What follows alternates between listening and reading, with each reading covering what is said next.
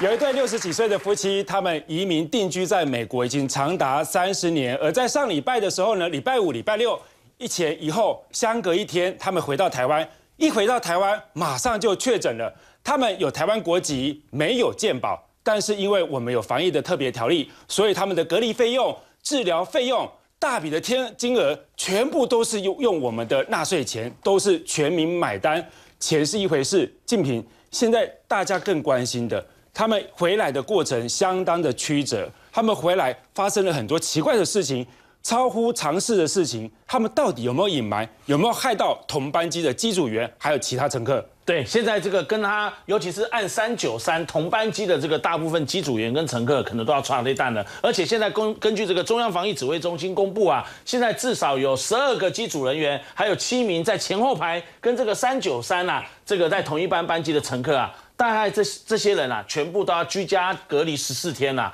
那后续还要再不断的这个裁剪。我是认为说，是不是要整个班机啊，都要比照上次我们曾经报道过的，曾经有整个班机有十一个人确诊这样的一个状况，是不是全部都要做一个裁剪啊？如果说他这个夫妻，因为他先生先确诊嘛，这个时间表来看的话，他先生是三八四案例了。他先生是四月十号入境嘛，在十一号确诊。他在十一号的时候入境，他在搭飞机的过程当中说，哎，他先生确诊了。可是因为在他搭飞机之前，他先生还没有确诊，所以呢就没有通报，也没有把他注记。所以他搭飞机的时候，因为如果你一般搭飞机，这个人有接接触史的话，他的前两排、后两排是空的，没错，好，跟人保持一个社交距离啊。可是因为没有注记啊。搞得他其实应该已经有病毒了，因为他一下来就确诊了嘛。他早在这个三月二十九号的时候就已经咳嗽了，这么早之前就已经有症状了，等于说他搭飞机的时候病毒量就已经相当惊人。但是这个过程当中，我觉得跟他搭飞机的人，因为他们没有保持前两排后两排是空的，所以同一班飞机附近的乘客还有包括机组人员，现在就陷在风险当中。耀州，你的质疑的确讲到了重点，尤其是按三八四跟这个按三九三后先后这个确诊，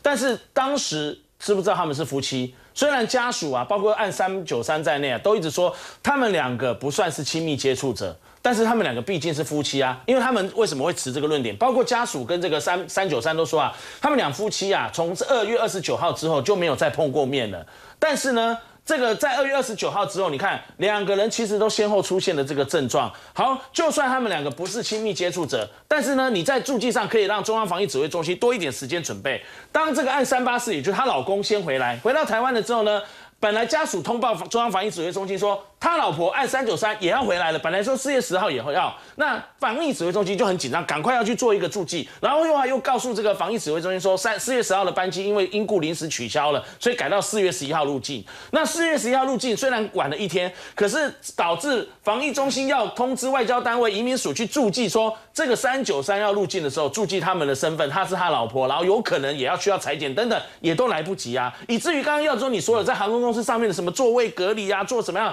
都来不及了。但是等到他上飞机起飞的时候，他可能已经在这个太平洋这个上空了，知道他的状况，所以防疫的这个小组人员，当飞机一落地的时候，跑到了这个机场，开特别的通道，然后赶快用最快的方式隔离这个大家。但是还有一个点，大家知不知道？刚刚你有提到。他老婆三月二十九号就咳嗽有痰了，四月一号说他腹泻，然后说他是喝牛奶就会有这种状况。那这个老公之前症状也很明显的，但问题是这个两个人先后三二九、四月一号、四月三号都出现有症状，尤其是按三九三有没有告诉这个这个防疫指挥中心，还有有没有告诉航空公司，有没有让班机上所有空中跟地面的机组人员都知道？肯定没有，否则刚刚你讲的那个安全距离可能没有保持，然后把这个离离开或者是能够保持一定的这个安全的这个范围，可能都没有做到，所以以至于你看这个同班机回来这些旅客是不是都会担心自己的安危？再来有一点，他们刚说二月二十九号的时候。那从这一天之后就没再见面。那二月二十九号他们是做什么？她跟她老公三八四三九三两个人曾经跟这个美国的一个友人曾经这个一起吃饭碰面过。那他他说美国有一个友人确诊，然后他们夫妻两人先后跟这个人接触过。我觉得整个过程，包括他们接触的方式啊，他们搭飞机的过程啊，哈，确诊的时间。听起来每一个环节听起来都是问号。对啊，所以我可以我自己从这个听他们两夫妻自述来研判，他们两个人跟那个美国的确诊的友人一起接触，那是不是两个人他们的这个确诊来源就是那个美国友人？可见美国现在疫情很严重啊，光是一个纽约州，它的确诊人数跟死亡的这个病例都已经超过世界上其他的一个国家嘞。这个疑问前提是夫妻俩是据据实以报啦，但是有没有据实以报，我觉得现在是一个问号。另外一个关键点哈，就是钱的问题，说每一个确诊者现在社会成本是。两百一十万，这是公预算，所以这两个夫妻他们的治疗费用就高达了四百二十万。那像他们这样的状况，大概现在统计大概有十三个人，所以光是这样的一个情形，有风险，有没有隐瞒？哈，长期都呃定居在海外的，现在突然回到台湾要用我们的资源，总共至少就用了两千七百多万。苏贞昌也帮他们讲话了，说希望大家哎不要计较啊，难免会不平啊，但毕竟是台湾人，所以希望现在。这个国人哦，对他们来讲，哦，因为是人之常情，请大家就尽量不要计较。但是有一件事情，大家刚刚静平有特别讲到，美国现在疫情真的很惨重，所以我们看到美国有些地方的画面非常惊悚。这是哪里？这早之之前的时候就看到美国很多地方，他们。尸体太多了，尸满为患了。但是底特金的照片让人家非常非常的惊骇。这是在哪里？因为他们之前太平间都不够用了，所以现在呢，他们用了很多冷藏的货物柜。冷藏货物柜之前呢，一开始排两排，好，大概十几具的尸体。这个是货物柜打开之后，后来就是因为不够用，所以他们用架子架起来，架了三层，三层又不够用，连中间的头这个走道都一起架，中间还不够用哦，继续的堆叠在上面。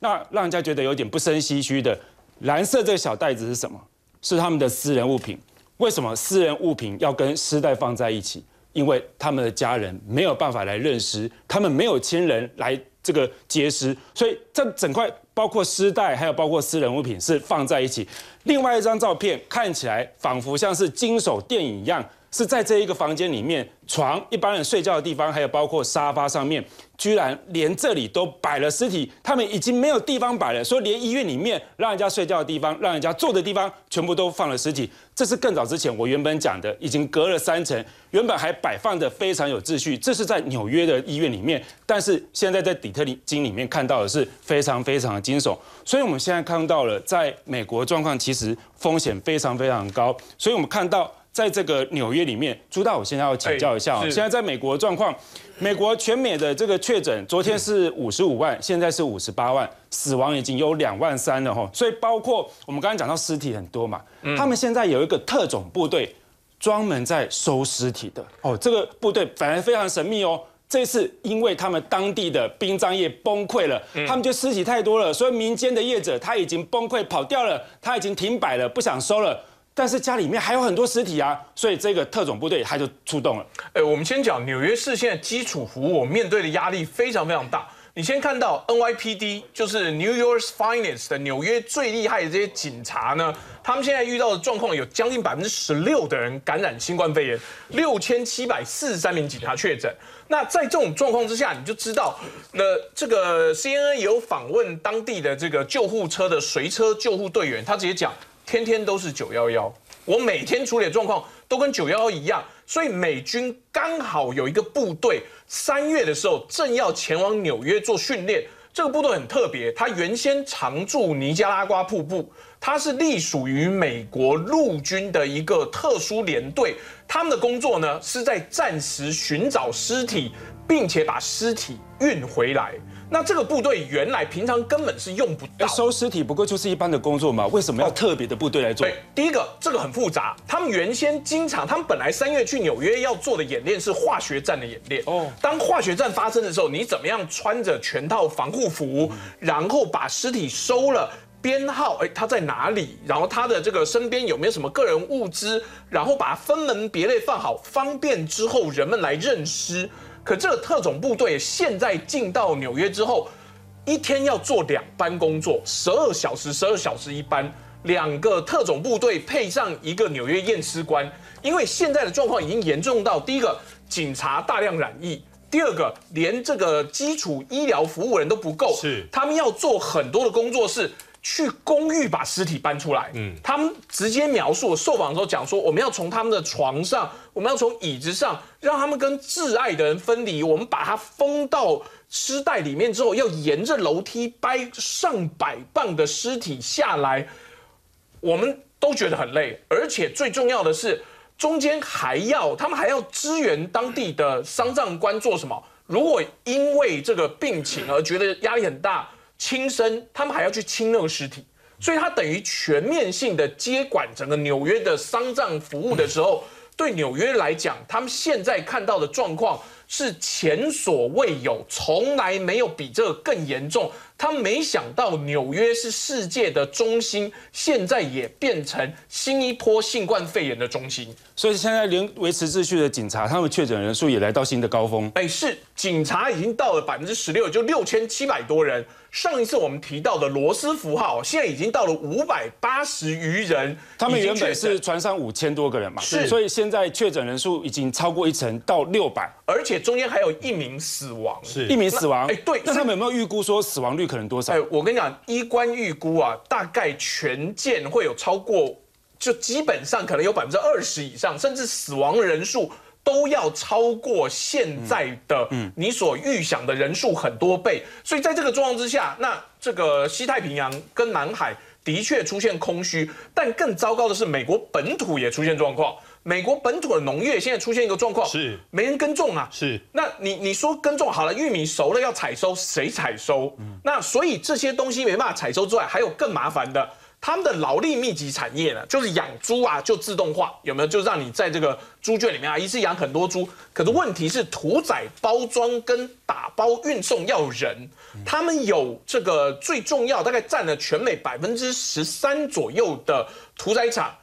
全体染疫，他有三百多个员工染疫，然后被迫关闭。那他直接这样讲：，我们这种规模的屠宰场，如果一旦封闭、一旦隔离的话，你要让货架上装满了肉，全美的货架都绝对做不到，不可能。那可是偏偏有另外一个问题哦，因为现在失业的秦岭人数大幅增加，所以秦岭那你要请你失业要要钱，对不对？结果你去超市发现货架空空，那怎么办？你跟现在看到这个画面哦，不是开玩笑哎，他们在排队要领食物。这哎，这个看不到镜头哎，因为他们开车去要领这个食物银行跟当地的救济单位发送食物的时候，都像德来速一样，就 drive through，他们有好几个帐篷，经过就发，经过就发。可是因为太多人来领了，所以你看，像这个画面就是他们一个一个给，一个一个给，又为了避免群聚感染。可是好像高速公路的交流道收费站一样分流，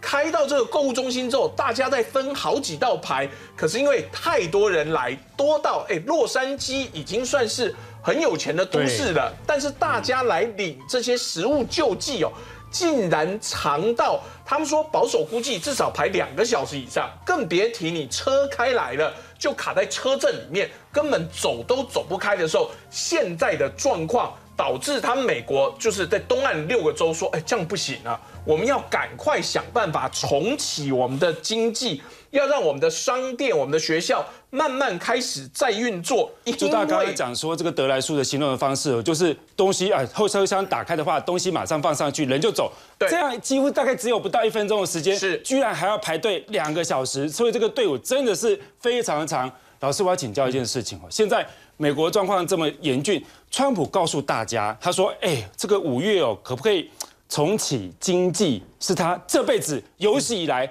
最大的一个决定哦。”他讲的非常的让人家说，他为什么是他有史以来最大的决定呢？是因为说这样的决定会冲击疫情，还是冲击他的选情？我想两个两者都很重要，因为疫情。继续延烧而且扩大的话，对他选情有有不就不利的影响。那么，假如他呃不，他不能说天天为了选举啊，但所以他每天呢开白宫记者会，每一场开九十分钟，所以他的话题很多。他每天开他的他的支持度有飙升吗？呃，支持度现在呢，现在还是还不错，但是呢，民意支持度超过呃这个拜登。民进党的拜登，那么但是呢，他的这个呃这个受欢迎程度呢，却超过拜登，而且呢，拜登现在遭到边缘化，因为全部都是每天都是他的记者会，他记者会呢东骂西骂，先骂中国病毒，后来骂谭德谭德赛，那么 WHO 的这个世界卫生组织的秘书长，那么结果呢，现在呢，他民意他甩锅嘛，甩锅就就把自己的责任减轻了，减轻之后，这是他第一个成功的地方，所以他的这个美国对中国的不好感度增加了。哎，差不多直追天安门事变六百分之六十一是对中国大陆没有好感的。另外，全球呢，那个美这个对中国大陆不好感也支持也也增加了。所以说，显示出美国的这个媒体战呢，它是打赢了啊。这个另外呢，它这个疫情呢，当然还要看疫情将来怎么延烧。假如说四月底就结束，五月初就能够开始启启动经济活动的话，那川普应民调还应该还维持还不错。那么年底也有胜算，因为呢，民调民调的支持率高是反会反映在那个普选票上面。但是呢，假如他那个能够得到一些关键州的就会摇摆州的支持的话，那他仍然有胜算，就跟二零一六年一样，黑拉瑞在普选票超过他，但是追在选选举人团票输给他，所以这个情况是不是不可能的？但他现在就是为了为了为了他的政权保卫战，那么就跟习近平一样，习近平也是在甩锅，要把责自己的责任减轻，把责任推给对方。那么美国呢，现在他复工是有两个原因，一个是他必须要呢，呃，为自己的选选举打拼；第二个呢，他必须要为美国的经疫疫后疫期的这个这个。这个经济呢开始开始着想，因为美国不可能说等到疫情完全结束才开始恢复正常，所以他现在就要开始慢慢复工，复工不可能马上就能够无缝接轨，很多产业不可能跟着一起啊这个一起来拼拼啊，呃有些而且还产业老板呢也可能要负责这个员工，假如因为复工而这个呃。难难易的话，那么原原美国美国的那个按照美国的规定呢，老板要负起很多责任，所以说很多老板不见得敢那个去轻易的复工。但是呢，川普又要求他们在五月一定要开始复工，否则美国经济龙头的这个地位呢，可能呃会受到威胁。虽然不至于说是立刻就崩盘，那有人说现在的疫情呢这个情况呢，呃严重性直追。这个一二零零八年金融海啸，我认为其实不止。以失业率来看，现在虽然还没到这个大大萧条的时期，但是已经快接近了。假如到的到达呃，现在是一百六十万，假如到达三百万的话，那就是大就是大萧条的时期。那么现在来看呢，啊，一百六十万已经是很严重了，已经超过了百分之十以上。老师，我们现在看到美国哦，他们在全球的部署慢慢的有一些变化了。敏宽，尤其我看到有一个消息，Google 它告诉大家，它从洛杉矶有一个海底的这个缆线哈，是从洛杉矶拉拉拉拉拉到台湾，这一条线美国已经批准了，但是有一个变化哦，原本香港都是全球金融的重镇，照理说这一条线怎么可能不拉到香港呢？是，居然没有拉到香港，台湾在全球国安上面的这个战略位置已经不一样了吗？当然，这一波我们可以发现中美之，应该说台湾跟美国之间的一个联系。还有美国跟中国之间的一个对立，来到这个地方，目前来看有点越演越烈哦。目前美国的一个海底电缆哦，总共拉了多远呢？拉了一万两千八百七十五公里，从洛杉矶拉过来，直接拉到台湾。可是我们仔细去观察哦，下面美国的司法部他们说什么呢？他们说批准 Google 连接美国至台湾的一段 PLCM。并认为启用美国直接到整个香港的一个电缆的话，请各位注意下面这句话哦，很重要哦，严重危害国家安全跟美国的执法权。美国现在基本上已经认为香港没救了。过去香港是非常重要的哦，亚洲金融中心当中，东京、香港、新加坡，这个是全世界金融结算的一个地方。那我们现在可以发现哦，现在其实所谓的全方位的一个对立是包山包海的。我们今天看到了这个海底电缆当中，表面上看的是脸书跟 Google，各位不要忘了哦，海底电缆暗地里面也传什么？暗地里面也有金流啊。各银行之间所有的金融的一个往来，各位去想，现在还有现金在传吗？没有，全部都是数位的一个金钱。还有什么呢？机密的一个资料，还有国防的一个互通。我们这当中看到的海底电缆的过程当中，请各位不要忘了哦，最近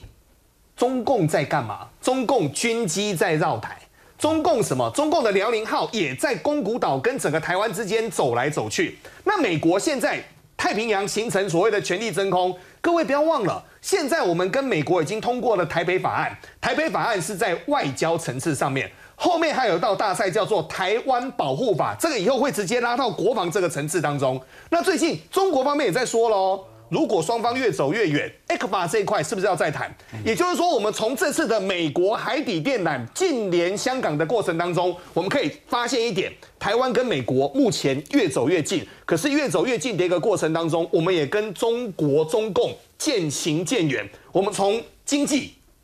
国防、外交、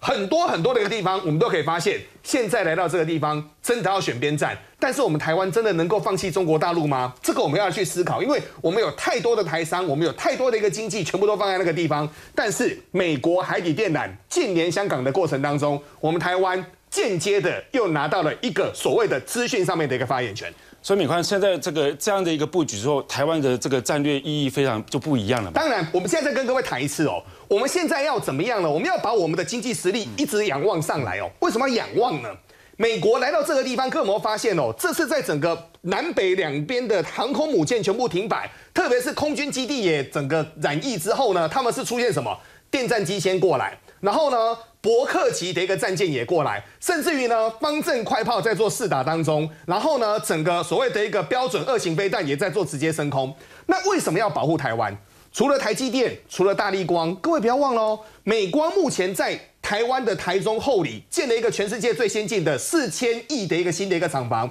而未来很多美国的高科技都把研发中心放到台湾，这个就是我们未来要持续跟美国渐渐越走越近当中最重要的一个关键了。中美之外，还有更重要的是俄罗斯，普丁他神隐了十四天，他今天他终于现身了，但是俄罗斯他现在确诊人数却是越来越多。休息片刻，马上回来。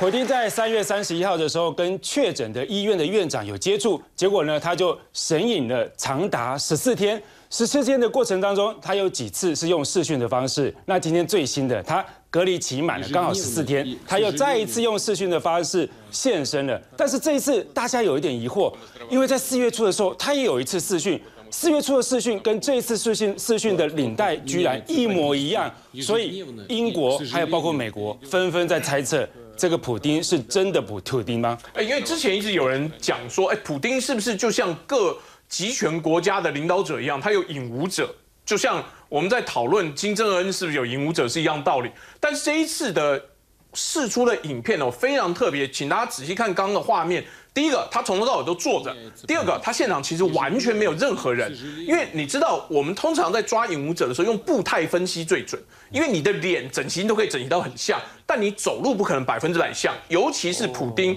他本身是一个柔道黑带高手，那所以在这整个画面里面非常难以判断的原因是因为。他就坐在那边，没有任何其他的动作，所以你看不出来他怎么走，你看不出来他怎么做，你只能说，哎，这个脸型跟我们以前记忆的似乎有一些不一样，是不是变瘦了？因为他的确有十四天的闭门不出，在接触到上一次那个医生之后，所以这一次的状况。他所做直播里面特别强调，他说我们不惜调派武装力量协助抗议。哎，这跟俄罗斯上个礼拜的时候状况完全不一样。你记不记得上个礼拜的时候，俄罗斯志得意满，还捐医疗设备给美国。结果这个礼拜忽然他就承认了，糟糕，我们如果有必要的话，要调派武装力量协助抗议。这表示。过去十四天到底是隔离，还是普丁觉得疫情大爆发，他最好不要出去接触陌生人群？这个我们实在不太确定。但整体来看哦，俄罗斯这一次的表现，我们先讲。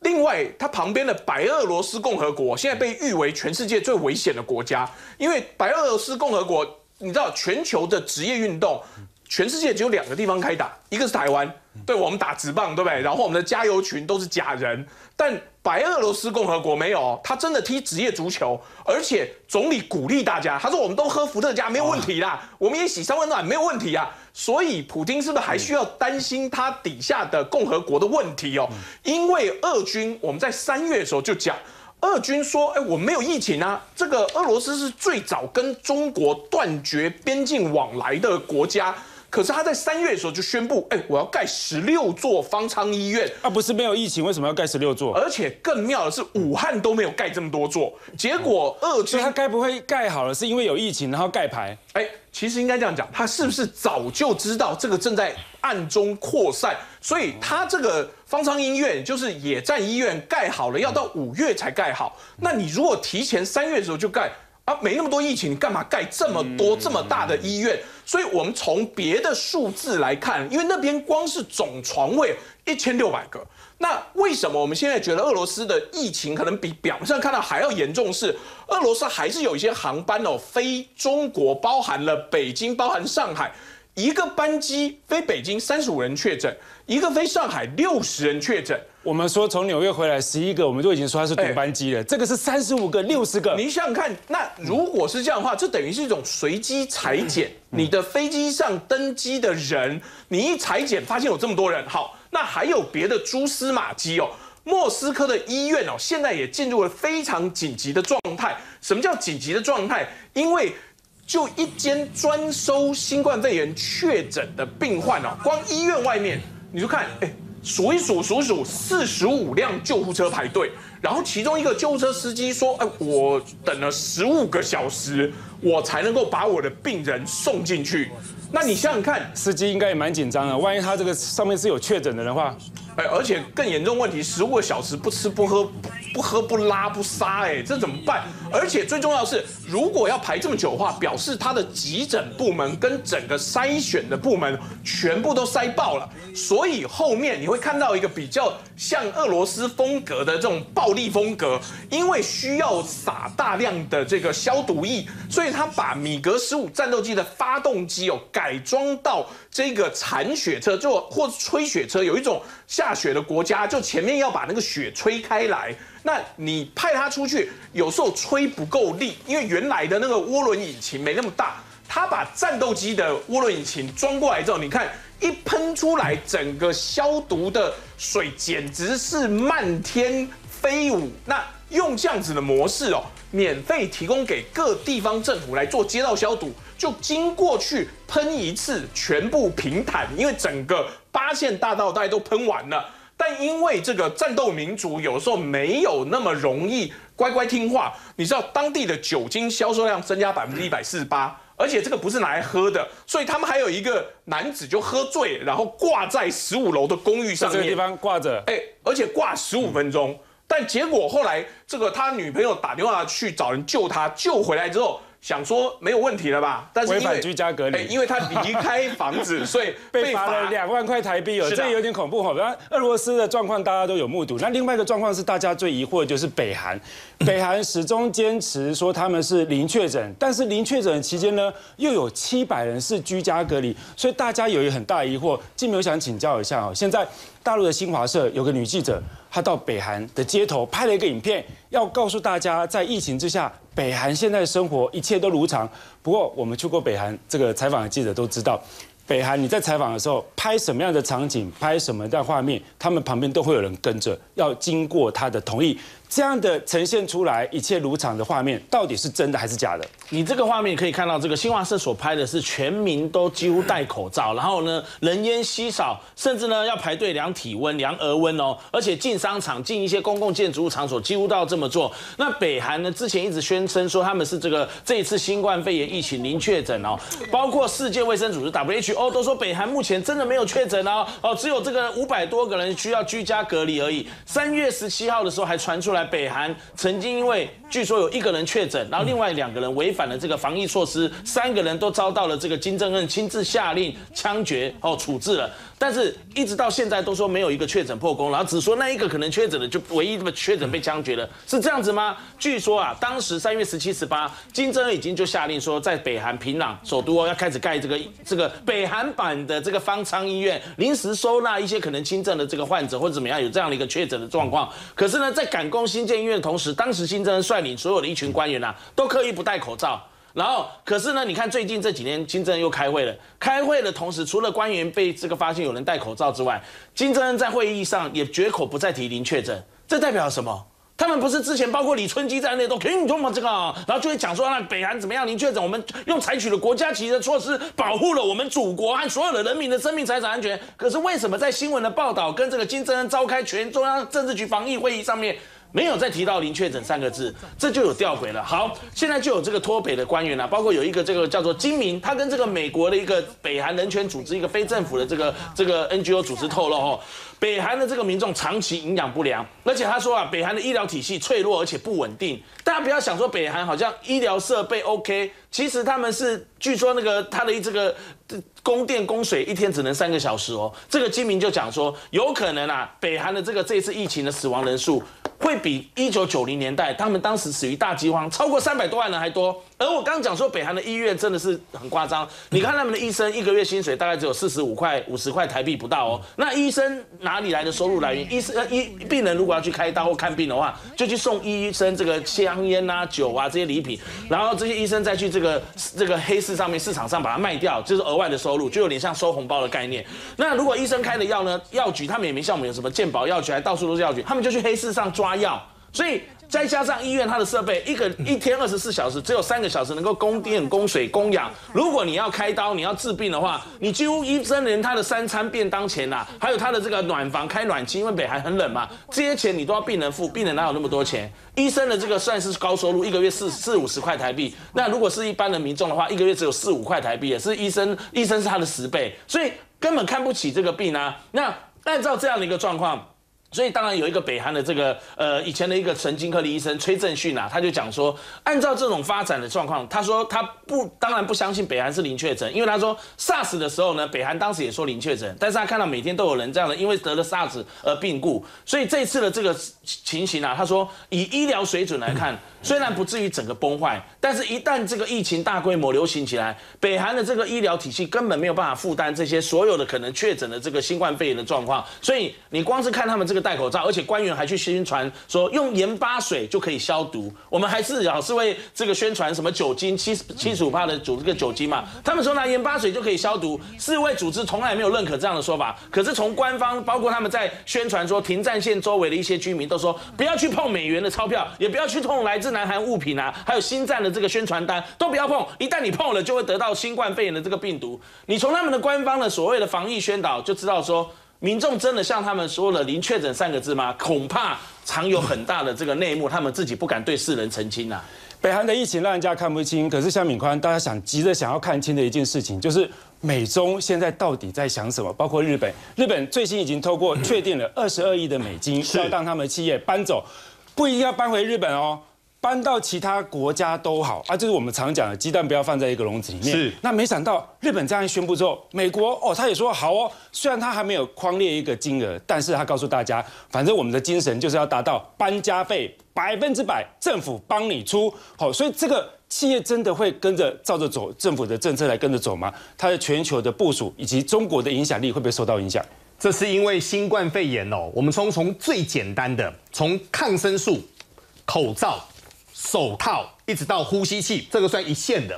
一直到二线的，例如说像汽车的一个零件，例如说像很多那些最简单的哦。现在美国很多的车子要修都没办法修，那为什么呢？零件都在武汉做，武汉他们之前没开工，根本运不出来。那现在呢？武汉好了，美国开始封了。所以现在我们可以发现哦，这个是库德洛，美国白宫的经济顾问，他就说。哎呀，我们美国实在是过度的依赖中国大陆了，所以他建议美国的一个政府呢，帮什么？帮美国的企业支付，包括了厂房啦、设备啦、装修等等。但是先跟各位谈一件事情，哎，移工厂是一件大事，移工厂是一件大事。那你移完之后能不能够做？我们台湾最厉害的公司叫红海，红海超级有移工厂的经验，过去移到巴西，这两年移到印尼，哇，真的是吃苦连天。移工厂是非常大的事。我们再看安倍晋三，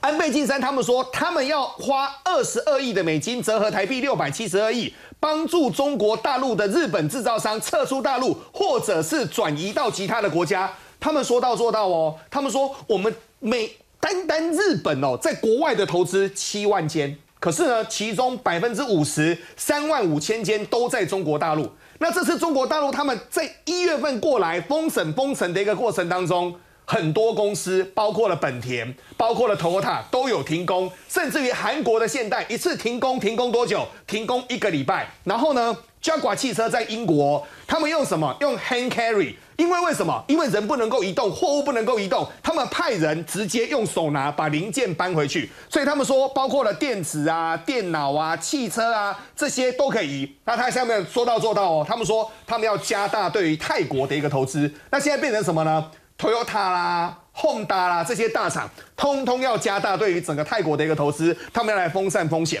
美国企业这次也是。美国川普这次他们在谈论到所谓的国防生产法的过程当中，单单为了一个 N 九五的口罩，各位要去想一点，美国现在好多的医疗人员用的口罩是不合格的，很多的医疗人员口罩一次用用好几天，他们的防护衣不够，自己用三个塑胶袋剪剪剪在那边裁。那为什么？因为最大的一个重点是，全球有四分之一的一个产品是由中国大陆来制造的，中国大陆有太多。小型工厂的一个网络，它可以彼此之间来做整个联络，甚至于精密到什么地步呢？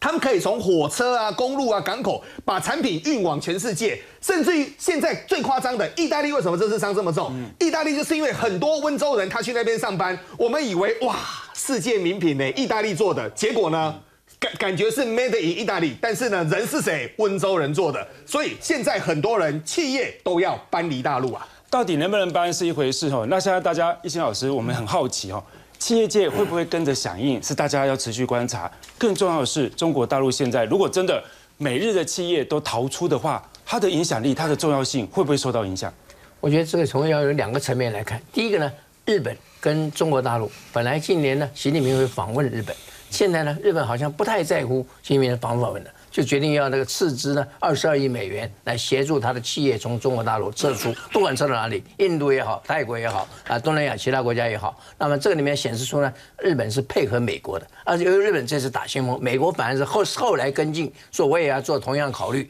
但是美国没有讲出明确的这个补助的数字，但是表示表示他会全额补助。那么这个当然就是有点点呃有意让这个美国、日本呢跟中国脱钩。这是第一步脱钩的第一步。那么脱钩的第一步呢？目的在何在呢？就是把中国大陆世界工厂地位让它动摇。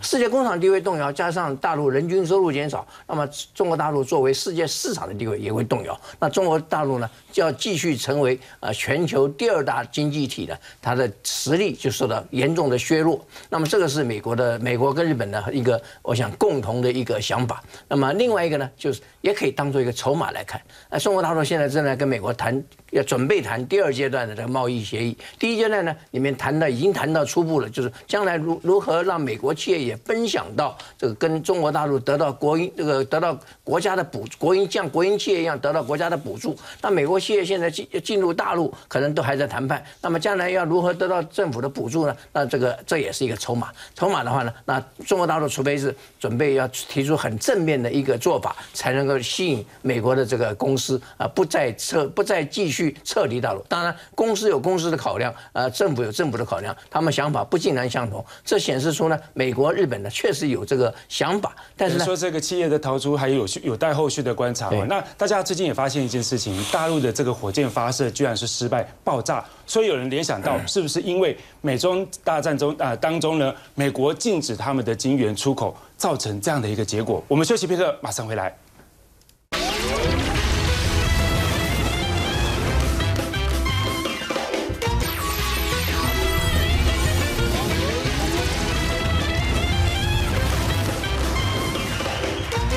大陆最近的军事意外接二连三哦，是在我们先看到它的这个火箭发射，在一个月之内先后两次发生了意外爆炸。最新的，他们极力的在发展的两栖攻击舰，居然也起火了。到底发生什么事？呃，这个是在四月十一号发生的，中国大陆的自制的这个第一艘零七五型的两栖攻击舰。这一艘攻击舰被国外的这个军事专家视为就是为台海作战准备。它是世界第三大的这个呃攻击登陆舰，可以说是算是中型航母，可以停三十架的这个直升机哦。你看那个这个烧的这个烟雾啊，直冲云霄。它这个烧起来之后，它后面的舰舰尾的部分跟它的机库啊都已经起火了。那当然这一起意外呢，造成大家说对这个中国大陆的军事科技是不是保持着受到了什么阻碍呢？无独有偶，你时间往前推，你看到这个四月九号在四川的这个西昌的这个卫星发射中心，长征三号火箭载的这个印尼卫星升空不到这个五十秒就爆炸了哦，而且被很多这个大陆四川当地的民众给拍下来，还在那边说，哎，我们来捡这个残骸哦，来捡这个垃圾啊。让大家听起来这个哇有点讽刺哎，长征这个三号火箭过去六十七次的发射的历史当中，只有三次失败，分别是二零零九、二零二零一五、二跟二零一七。没想到这次又发生这个失败，很多人就讲说是不是晶片有问题？好，讲到晶片，时间再往前推，也是今年大概是在三月十六号，你可以看这两个发射的这个卫星，这个火箭都爆炸。那这一个这个它是三月十六号发生的，是长征七号。它也是在海南的这个这个文昌发射基地的时候，发射任务告这个告失败这个告终，结果呢，大家都讲到说这个火箭发射失败。都跟卫这个卫星它那个它的火箭的这个晶片有关，它的这个晶片呢为什么这么重要？你可以从一件事情看得出来，就是说在二零零三年的时候，当时这个中国大陆的上海交通大学的微电子学院的院长陈星曾经跟大家说，啊，我宣布发明的这个汉星引号的芯片，芯片就是晶片。结果后来没想到三年后就被国外媒体踢爆说，原来他是跟摩托罗拉的公司买过来，然后把它上面的晶片那个人家的 mark 涂掉，叫这个工人把它涂掉，然后再印上他们的这个这个字字字样，然后。骗取了上亿元的科研经费，跟数十个这个合作的这个项目，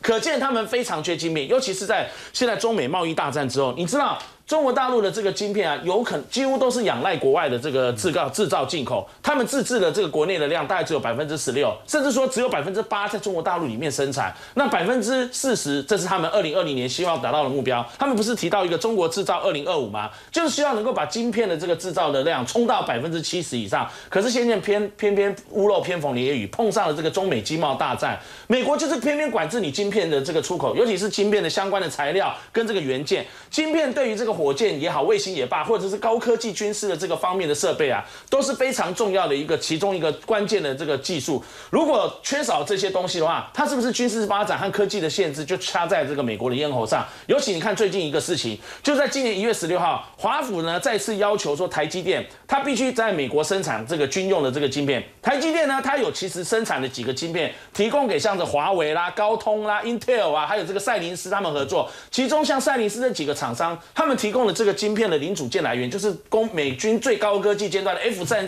三十五战斗机使用，而这个军用级晶片。换句话说，就是台积电在生产。那台积电在中国大陆有百分之二十的营收，但是在美国也有百分之六十哦。现在美国政府说，你把台积电，你把这个厂设在我这边，我要把军用级晶片控制在我这边。那是不是言下之意，川普政府就是不让这个台积电的高科技的军用级晶片流到中国大陆去掌握了这个技术，导致中国大陆现在在科技研发的这个技术上屡屡发生一些意外。所以现在失火其实不只是军事啊，包括这个中国的对外关系，尤其是它跟这个原本非常友好的非洲的国家的关系，现在变得非常非常的紧张。朱大，我请教一下，这个事情的源头当然是来自一个护士啊，护士还特别拍了影片，他哭诉说，他原本是要帮这个非医的确诊的人哦，是确诊的人哦，要来帮他做这个抽血的一个工作哈，但是没有想到对方居然。咬他，还打他，所以他拍了这个影片哭诉这个过程。没想到这只是一个开端啊！哎，因为实际上这一波在广州发生的非裔的歧视事件哦，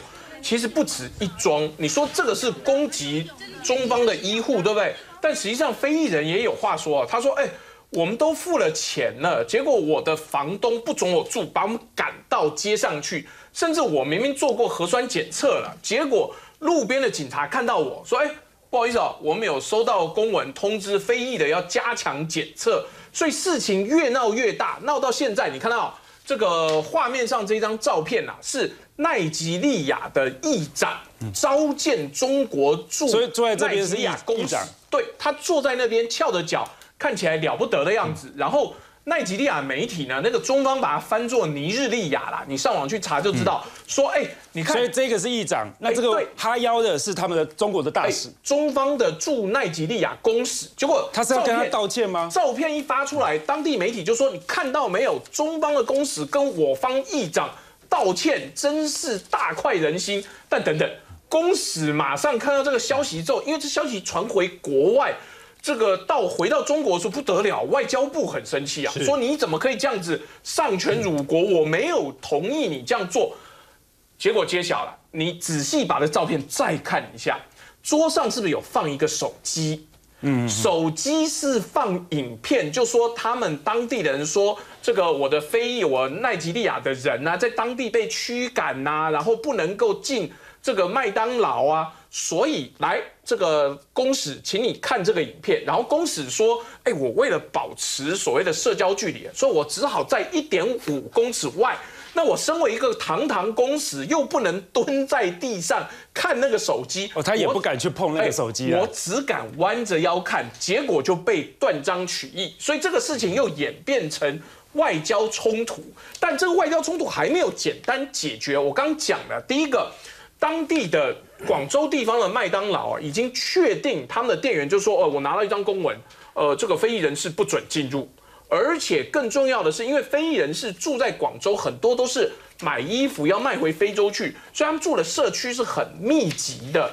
所以被当地的警分警方哦跟当地的医护人员针对，就是走在路上，你看到没有？大军出动，就是沿街，我们不要说搜捕啊，而是看到黑人就检查。那你在这种状况之下，你想想看，非裔人会不会觉得你就歧视我嘛？为什么其他人都没有问题，结果你看到我就检查？所以他们自己也拍了影片上网抗议说，你看。那我我们只是我们根本没有确诊哦，结果你来的人大张旗鼓，全部穿着整齐防护服装，然后要检查我，那你这个有没有歧视？这有歧视啊！这比这个人家说什么在网络上霸凌还要来的歧视的严重的多了。强制我抓着我，然后逼我一定要接受核酸检测，因为核酸检测试纸要深的很深，所以其实我觉很不舒服。中非的冲突恐怕是一时难了哈。那没想到现在全世界在印度有个更奇怪的状况，他们在当地有很多的猴子居然暴毙了，而且他们的症状居然跟新冠肺炎的症状非常的相似。休息片刻，马上回来。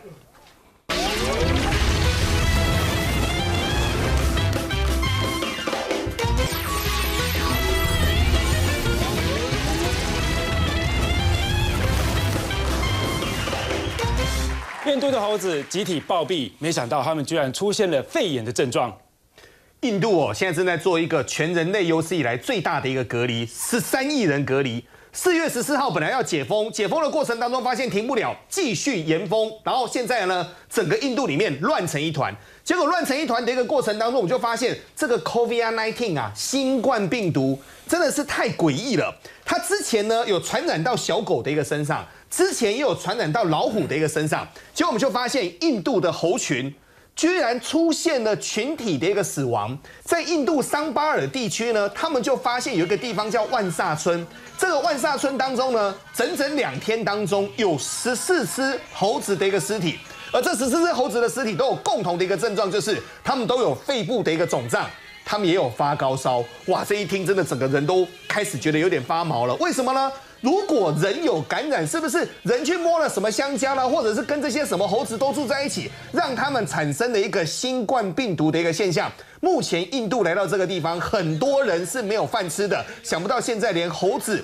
都已经出现了离奇的一个死亡，这是在整个危机的一个部分哦。但其实也有重生的一个部分。最近好多的一个地方，他们都发现说，哇，卫星照片去拍地球，地球变得好干净哦。那为什么好干净呢？过去地球每一天要烧多少？要烧一亿桶的原油，现在一天烧多少呢？七千七百八十万桶。过去有很多的一个地方，例如说像菲律宾的巴拉望，一定很多人去过。为什么？巴拉望的海好蓝哦，好漂亮哦，好多人都去那边浮潜。可是你在这个现在这个看起来好痛哦。对，现在在那边浮潜的一个过程当中的话，更没有发现哦，现在观光客都没有去了，所以那个地方就经过了很好很好的一个休养生息。结果休养生息的过程当中，更没有发现，哇，巴拉望这个海变成番茄海了。那个番茄不是真的番茄，那个番茄是什么呢？那个番茄原来是大量的粉红色的一个水母。过去粉红色水母呢有没有？有一只两只，游客看到好高兴哦，远远的就去拍，就去来看。